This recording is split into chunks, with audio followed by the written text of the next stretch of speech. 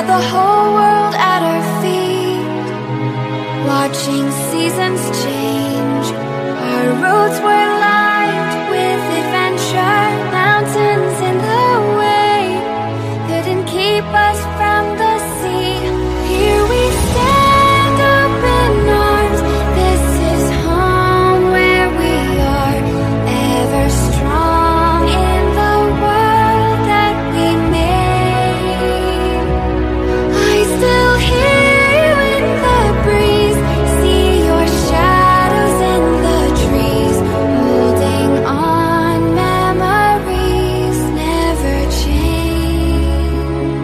Thank you.